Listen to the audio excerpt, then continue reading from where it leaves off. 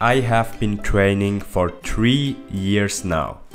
And if I could tell my past me one tip that he needs to consider while building muscles, it would be tracking your progress.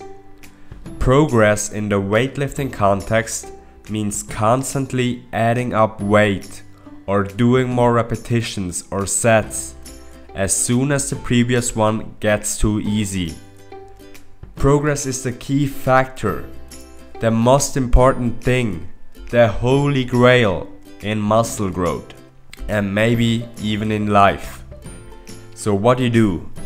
You will take paper and a pen with you to the gym and write down how much weight you use and how many repetitions you do. Or use an app, for example FitNotes. Training like this will put you in a competitive state, not with others, but mainly with yourself. You will feel the need to outtrain your past performance. Because what might happen if you don't take notes or aren't aware of the importance of progress, you will get comfortable.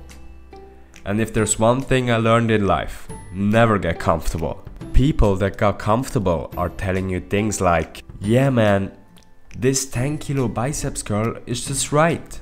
Yeah, it burns a little bit, I do feel it. No, 11 kilos?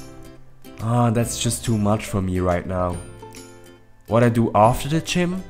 I'll probably eat a donut. If you're new to weightlifting, I can tell you right ahead that your body is so ungrateful when it comes to taking a long break in training. You will lose your muscles. Not right ahead, for example one week, but over time. You're either improving or you're losing. Not only in the gym, but in every aspect of life.